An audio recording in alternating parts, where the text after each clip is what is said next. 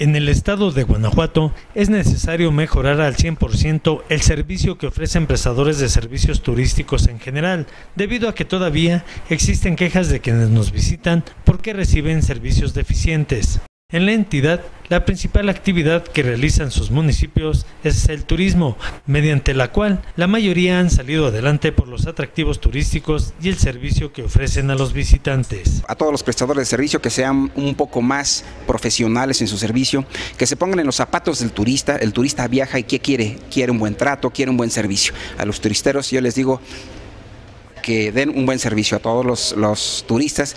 Les digo que respeten los lugares en el caso de Guanajuato, muchos lugares históricos. Hay que respetar, eh, hay que respetar tirar la basura en su lugar.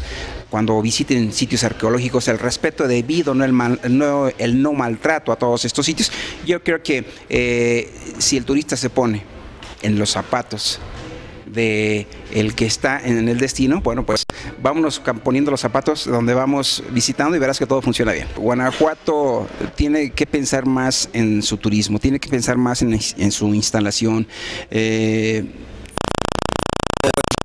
varios hoteles y tienen eh, fallas, tienen sus eh, falta de higiene, otros eh, no les interesa que las llaves, eh, los desperfectos no les dan el mantenimiento adecuado. Yo creo que tienen que eh, ser más intensos en ese tipo. Si tienen que cobrar un poquito más, pues que cobren un poquito más, pero que den un excelente servicio. Viene para Guanajuato todo lo que los ciudadanos deseemos hacer. Eh, yo creo que una actitud llena y cargada de positivismo nos lleva a todos a buen puerto. Nosotros solicitamos periódicamente a la Secretaría cómo ha resultado la aplicación de la ley y de qué manera ha incidido en los diferentes sectores. De esta manera, la propia Sedetur nos hace las observaciones y nosotros también, eh, con esta buena relación que tenemos, hacemos recomendaciones. Creo que el turismo va en aumento. Si una ley se queda quieta y no, no activa con esto, y, me refiero a activar, que es precisamente el turismo es que el flujo de personas vaya de un lado a otro y vaya de alguna otra manera comprando, haciendo sus gastos.